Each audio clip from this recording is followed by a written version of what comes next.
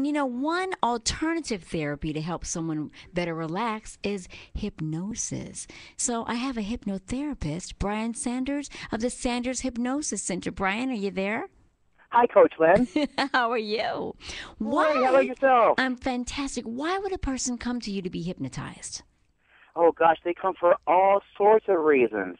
They come for to overcome fears and to withstand pain, and yes, they even come to reduce stress in their lives.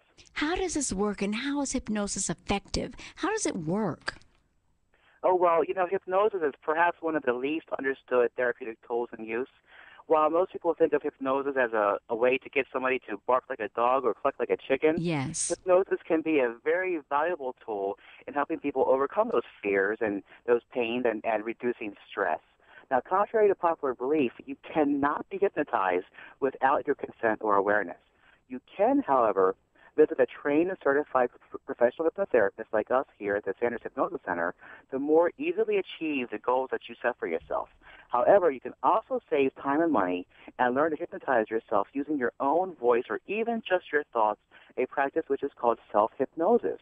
And this is basically going into a very deep, relaxed state.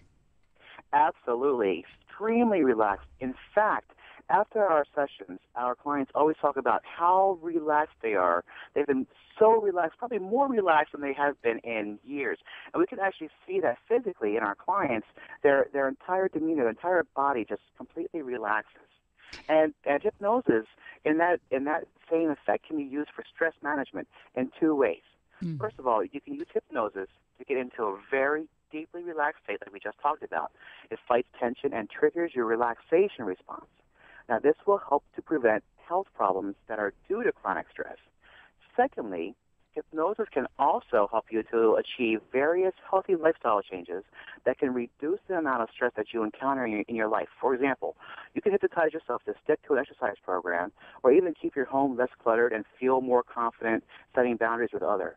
Now, in the same vein, you can also effectively use hypnosis to help overcome any negative habits that you've been using to cope with stress, mm-hmm. like smoking and, and compulsive eating. Mm, let me ask you this. I just I just got tweeted this from Leslie. She wants to know how can you find how do you know who's a real certified hypnotherapist? The difference between those and the ones who do want you to bark like a dog. that is a great question. And and unfortunately, in most states in this country, there are no certification or licensing requirements to be a hypnotherapist. So so you could read a book on on hypnosis and call yourself a hypnotherapist and wow. start practicing. So the the way you go around that, you can go to like an organization, say for example the National Guild of Hypnotists, mm-hmm. and they are probably the most respected, most credible organization in the world, and they ensure that each of the other members have minimum training requirements, uh, so many hours of training, and also each of the members have to go through continuing education uh, every year in order to maintain their certification through the guild.